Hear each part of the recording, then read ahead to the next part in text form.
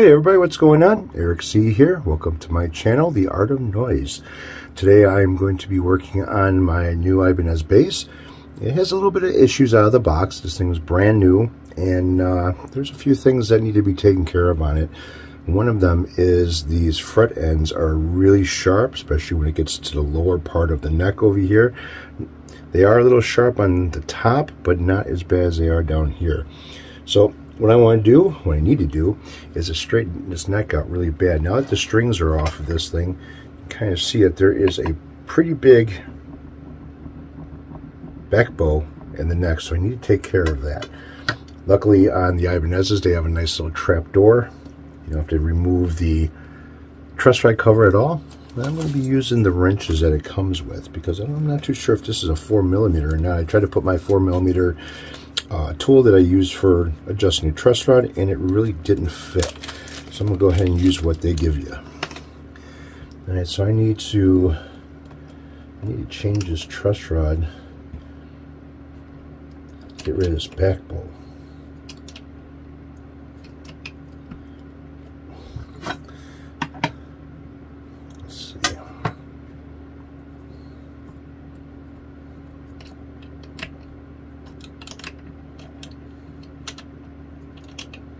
So I'm loosening it up,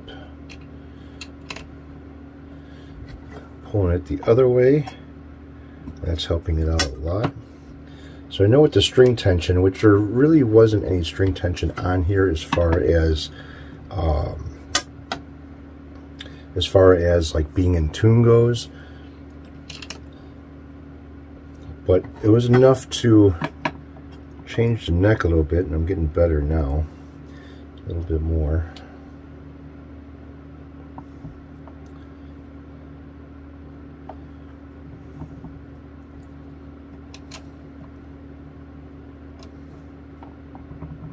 better.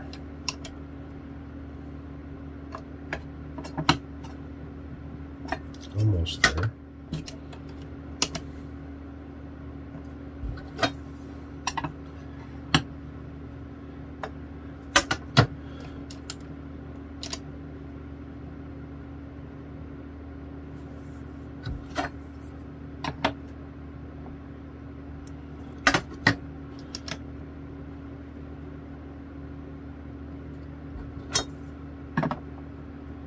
All right, I'm pretty flat. My flashlight, see how much light I see through here.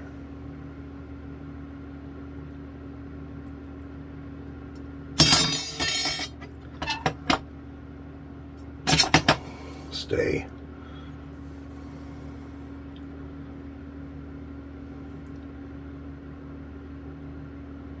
All right, I'm liking that. There is no rocking back and forth anymore. That's pretty much gone. So let's go ahead and check to see what these frets look like as far as being level.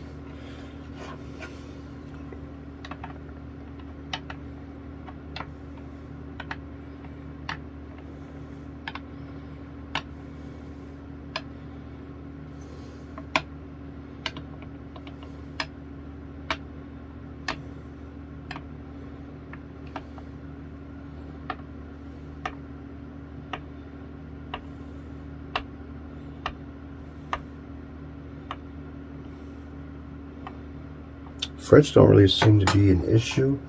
Let's check down the neck, see what it looks like.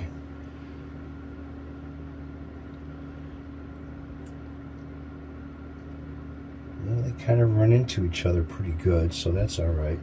So I want to take care of all of these sharp ends over here. So I'm going to bring this down. Actually, I need to bring this up like this because I need to use the file that goes on the edge of the fretboard.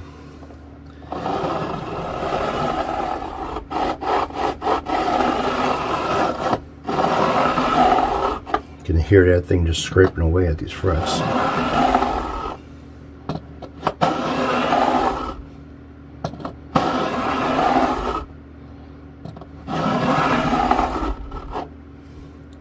Oh, much better. Same thing on the other side.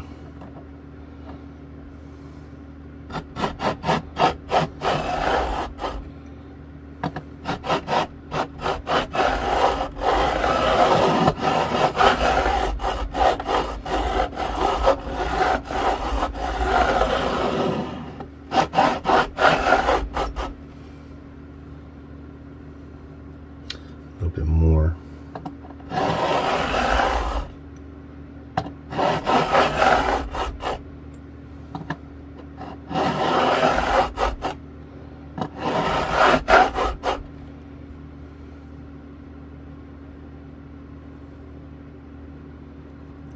it's almost like these are hanging off the edge a little bit.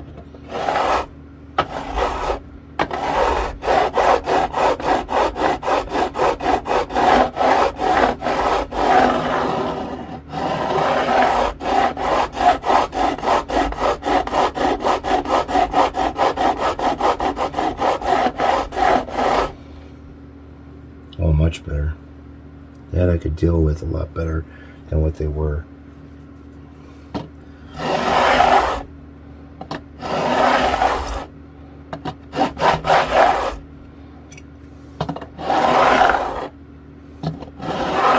That side feels nice and smooth going down. This side still feels like it's grabbing a little bit.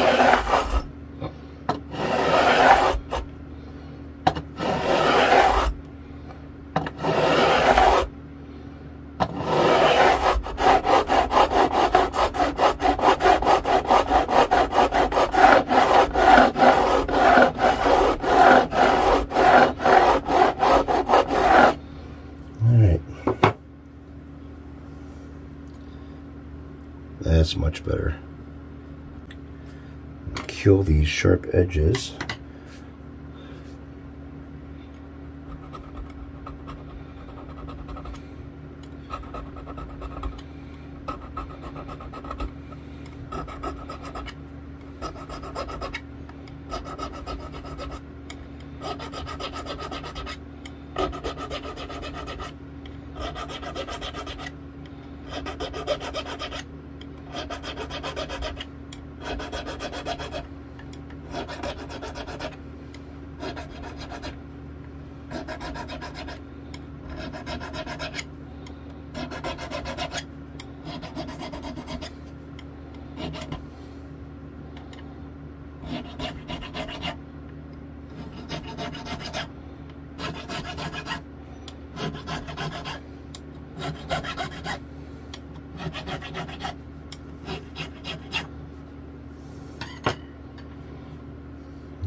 Hit the, the edge a little bit.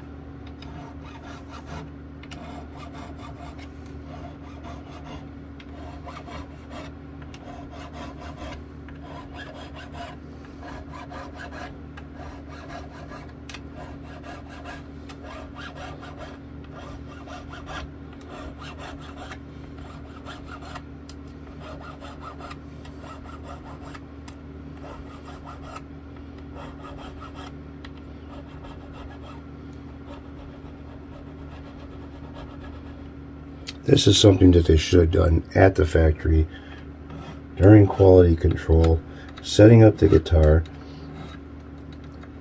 You know, this is shit that they should have done already.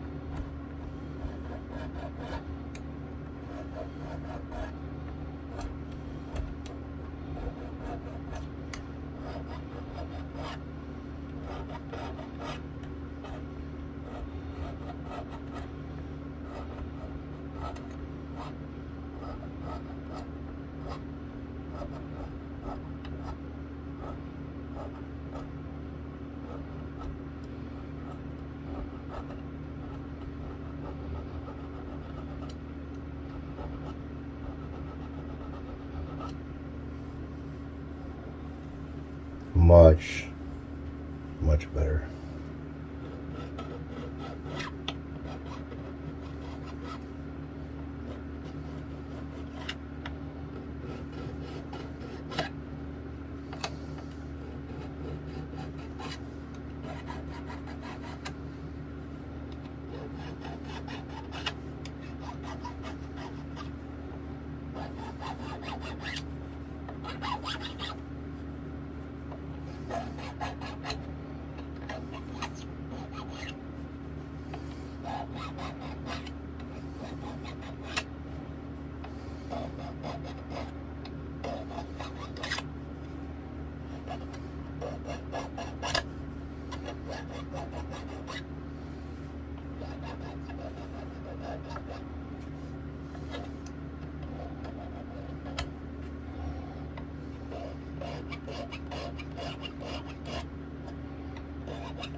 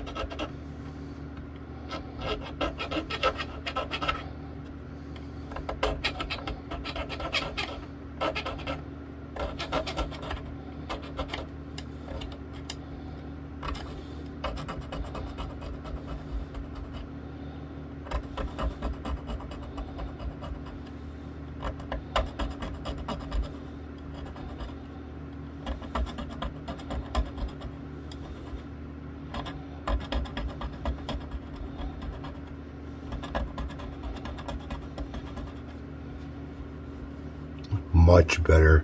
Wow. Just a little bit. Now the cleaner off. Alright, so these frets ain't too bad as far as being tarnished goes. Um, you know, now that I did a little bit of work on them, I kind of want to polish them up. Might as well since I have the strings off the guitar and everything, or the bass. And then do a little bit of a quick polishing with the Mother's uh, mag aluminum polish. So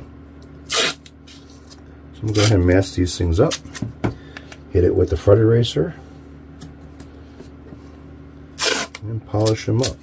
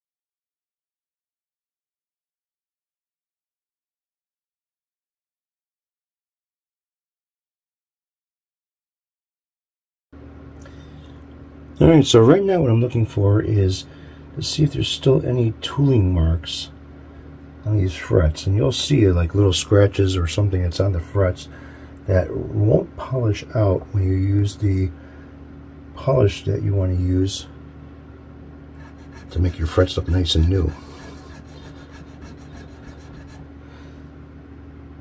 Looks like I got all the file marks, tool marks out of the fret.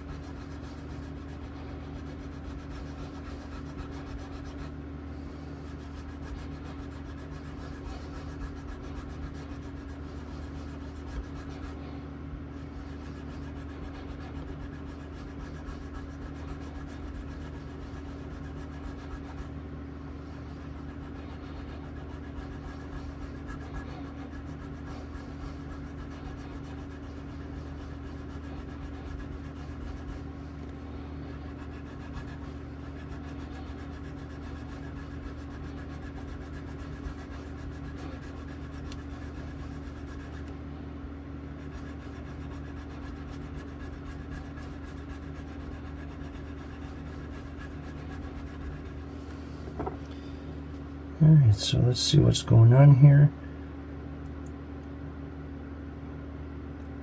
Alright, they look alright, so I can go ahead and use the mother's mag polish on these things and polish them up really nice so they look like chrome. Alright, so kind of put some tools away, got things a little bit organized and cleaned up over here. I got Wally in a box parts that I need to send back to him with his guitar, and I got his parts on this side over here that I need to install on his guitar. Then I can finish them up and get them back to him. Still waiting for the mail to deliver a part for me. And uh, yeah.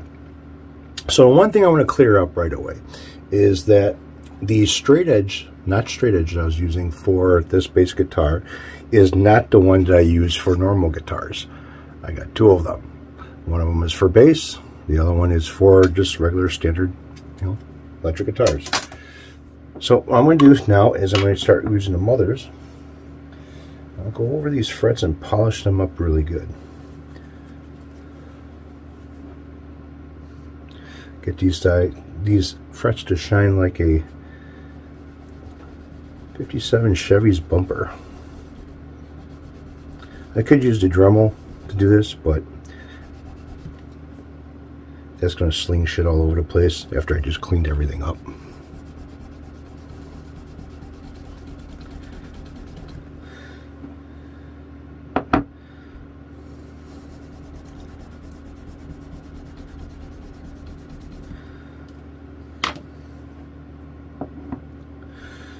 So we kind of got hit with fall pretty good. It went from 70 degree weather during the day Now it's like 60 degrees outside. And drop into basically almost freezing overnight. You've had some uh, bad frost warnings. Wake up in the morning and there's frost all over your car windshield. There's frost all over the ground. Yeah, it's winter's coming. And I think winter's going to hit us hard this year. Some say that uh, it's not going to be too bad, but I really think we're going to have a normal winter now. I'm getting tired of these winters where we get a little bit of snow and it melts and it goes away. I kind of like to have the the old way that I grew up with, where you know, wake up in the morning and there's eight inches of snow on the ground. Remember walking home from the bus stop when I was a kid or teenager, and you're stomping in the snow. Shit, the way it's been nowadays. Lucky if there is any snow on the ground.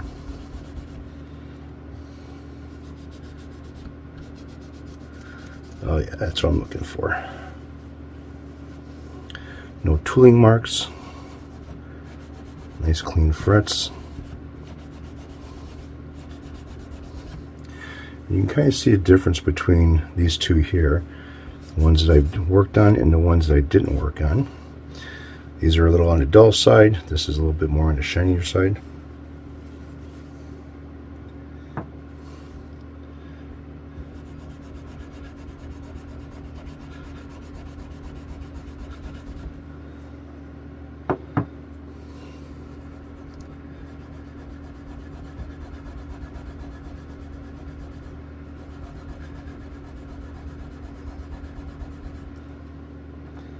And right now we're having a little bit of rain outside. Finally getting a, a good soaking after being dry for so long. If you got like hay fever or some type of allergies, it's been uh, pretty rough with the way the weather's been kind of dry and then having uh, some windy winds. Don't call us a windy city for nothing.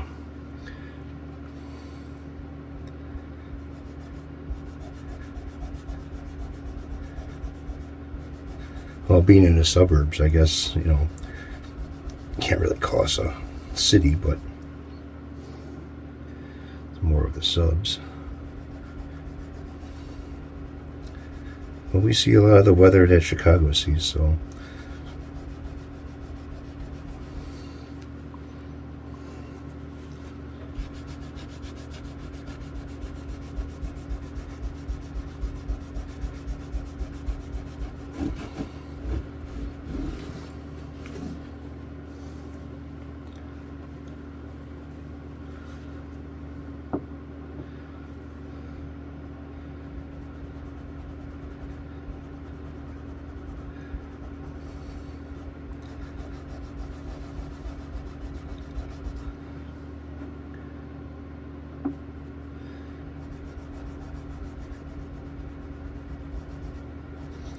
Yeah, I'm almost done here and I'll be peeling off the tape, conditioning the fretboard a little bit.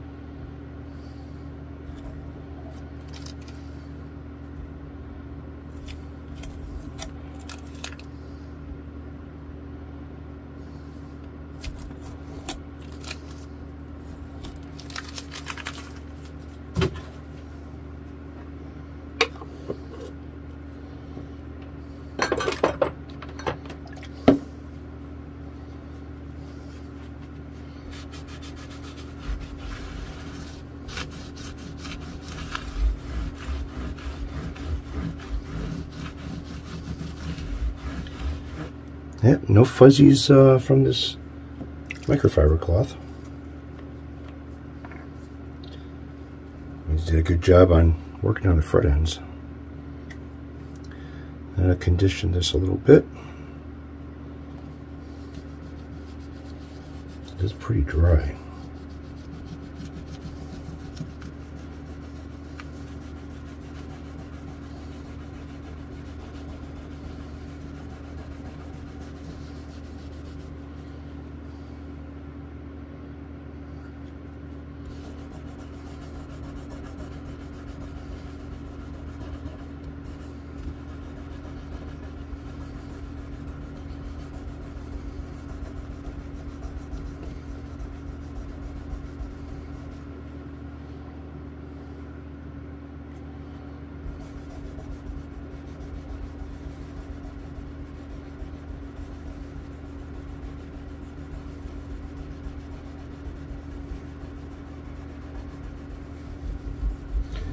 Alright, so just let that soak in.